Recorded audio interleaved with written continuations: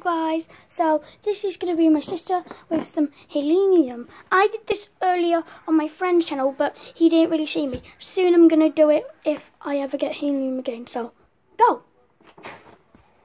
Yeah. Whoa, I can sing good. Yeah. Ah, this is my helium voice, and I'm not making it up. It's actually real. If you go to McDonald's, oh, it's going, wearing off. It's wearing off now. If you go to McDonald's, then yeah, don't do the rest, Daniel. Okay, Oh, I got it. So- that's good. Hold the end. Hello. My name is Daniel.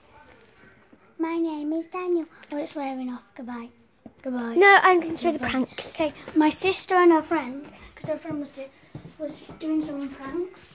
Okay, I've got to say, we were going to do more pranks. This is just so you can see me. We were going to do more pranks, but then um, the, my friend was. Had to go. Not my friend. I was scared that I would get told off by my mum, so I was going to put tin foil on the toilet. So if you read, so yeah. And we're going to put tin foil on the door, like here. But yeah, we didn't. So the first prank. You can see us. You're on the toilet. You want some paper. It's not paper that you can't tear. This is real paper. This is a prank I made up. So if you pull, then there's that to it.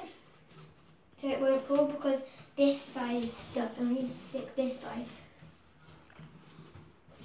And the next, we saw this on YouTube. Can you see anything different about this? No, it didn't work. Oh gosh. Is what it's meant to do. Like spill everywhere.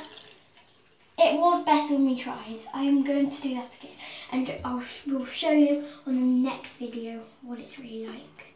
It's like that. It's goes like that. So yeah. Okay, Bye.